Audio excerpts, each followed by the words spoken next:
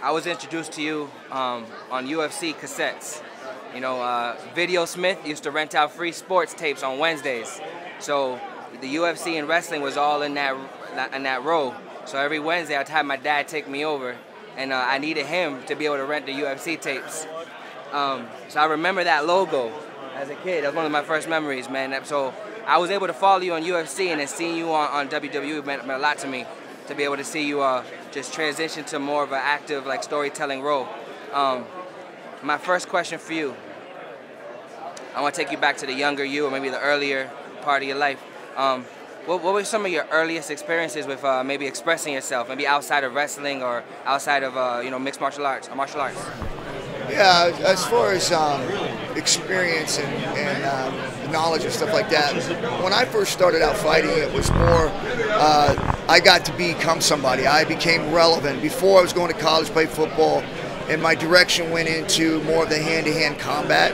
So for me, it was almost like from where I came from, out on the streets, fighting all the time, getting in trouble, to now actually walking in a ring and be able to fight almost the same way as if I was on the street and they were going to pay me for it. I didn't have to worry about getting arrested or any of that stuff. So for me, it was a thrill and it was a relief that I could actually do something that made me feel good and that I was really good at, and that was no holds barred MMA.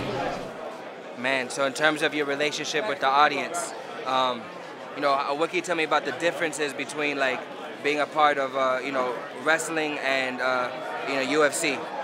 Yeah, you know, uh, back in the day when I did the transition from uh, MMA into pro wrestling, it was really difficult because I know a lot of people thought I sold out. You know, why you going to that fake stuff? Um, that's not who you are.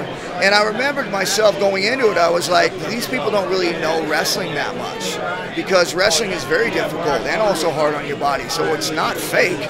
So I thought to say, you know what, I'm going to go in, I'm going to change people's minds. So when I went into pro wrestling, um, everybody that was on the MMA side were all going, man, that's a sellout, you shouldn't do that. After one year being in pro wrestling, all those people that were saying that were saying, man, that's pretty cool. That was pretty cool. Because wrestling, in my opinion, at that time also changed with me uh, when we became into the Attitude Era. So it was really nice to be a part of that, to be able to help bring that part of wrestling back into the fans, making it cool again. And I think that the uh, Bret Hart Stone Cold Steve Austin match, the one that I refereed, really set the tone for that attitude era and for fans to come out of the closet and say, yeah, man, that's cool. Uh, man, you just mentioned a match. That was my first time watching a pay-per-view live, WrestleMania 13, right? That was it with you, you and uh, Stone, Stone, you were the ref for that match. Um, man, that was a dope memory. Uh, can you give me a cool story about that match? That match was the first time that we had we had black box. We didn't. My uncle wasn't gonna pay for the pay per view, but he found a black box. He was like, "Yo, we're gonna watch it." So I was excited because I he had no other way to get me to watch it.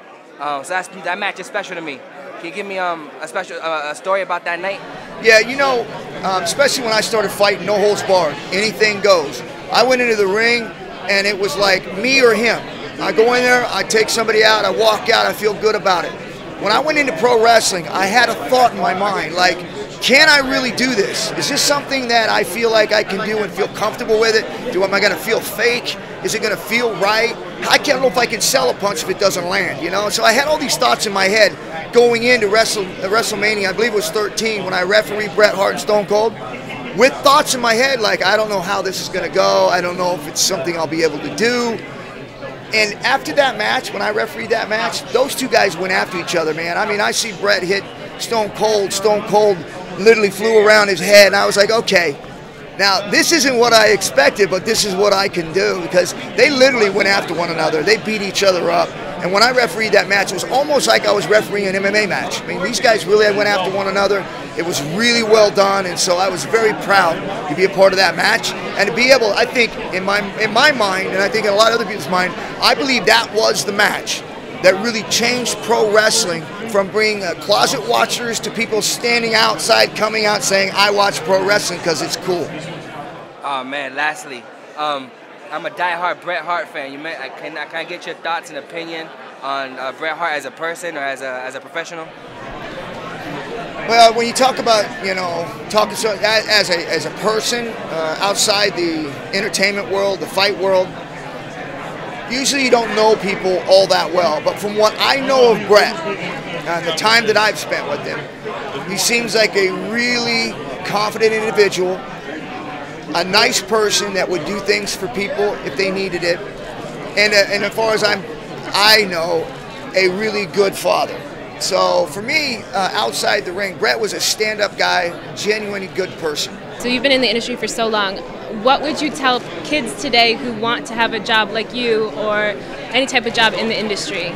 Yeah, if, if, especially today with the young kids growing up, and, and no matter what sport it is, uh, first thing I'd always say is make sure you have an exit plan.